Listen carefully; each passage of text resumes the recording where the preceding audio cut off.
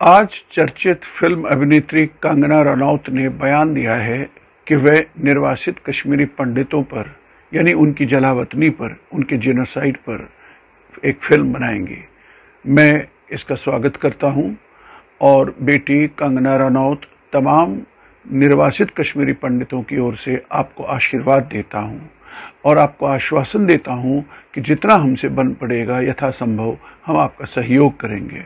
और आशा करेंगे आपसे कि आप हमारे सब्जेक्ट के साथ न्याय करेंगे, क्योंकि हम अन्याय के शिकार हैं, अनदेखी के शिकार हैं। हम पर किसी ने बात नहीं की, हम पर किसी ने आवाज़ नहीं उठाई हमारे हक में। ऐसे में तुम्हारा ये कहना कि तुम कश्मीरी पंडितों पर क्या बीती होगी कश्मीर में, वो तो जानती थी तुम, लेकिन आज तुमको उनके दुख का एहसास हुआ, गहरे एहसास हुआ, और इससे प्रेरित होकर आपने ये कहा कि मैं कश्मीरी पंडितों पर फ़िल्म बनाऊँगी। हम आपका स्वागत करते हैं और भावुक हो गए हम।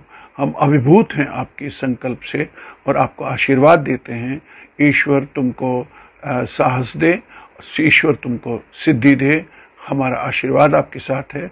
आप हम पर फ़िल्म बना रही हैं, बनाने जा रही हैं। हम आपके साथ हैं और आशा करते हैं कि आप जल्द ही इसकी शुरुआत भी करेंगी। इसके लिए आपको बहुत बहुत आशीर्वाद हम सबका।